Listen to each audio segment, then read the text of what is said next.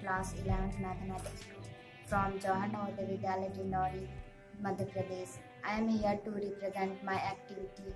My activity number is 27 which is guided by Mrs. Sunita Gupta ma'am.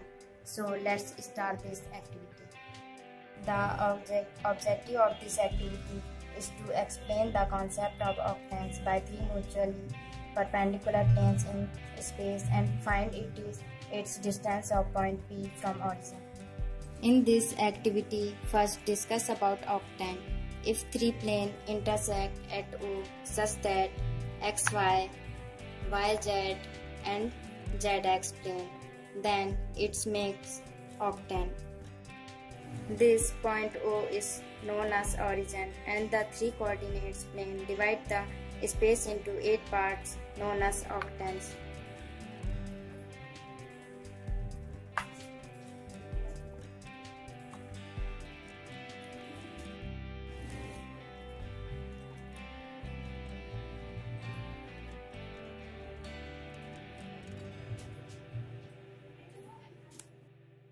These three planes intersect along the line XO, X dash, YO, Y dash, and ZO, Z dash are called X axis, Y axis, and Z axis.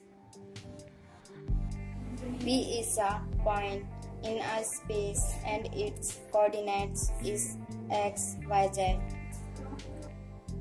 We drop a perpendicular on xy plane such as PM.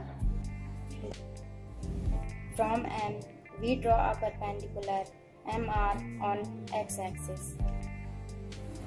Then this distance is x and this distance is y and this distance is z.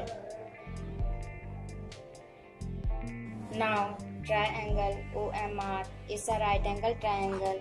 So it's follow the property of Pythagoras theorem. As we know that Pythagoras theorem is hypotenuse square is equal to perpendicular square plus base square.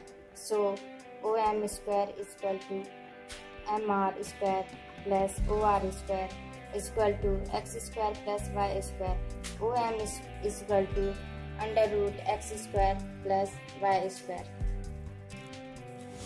Again, OPM is also form of right angle triangle. OM is under root x square plus y square. So PM is equal to Z.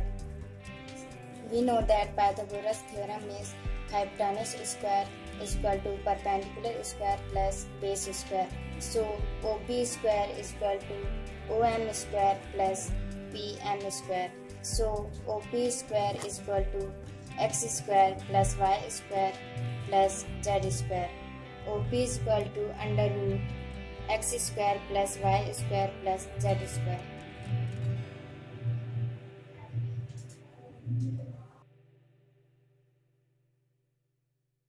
Observation of this activity the three planes are intersect at right angle at a point and they divide that space into eight parts. Each part is called an octant. Distance of the point 5 4 on the xy plane from origin is under root 41 units.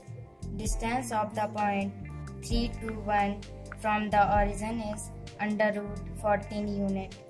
If we fix a wire perpendicular to any of the planes, then it will represent normal to plane.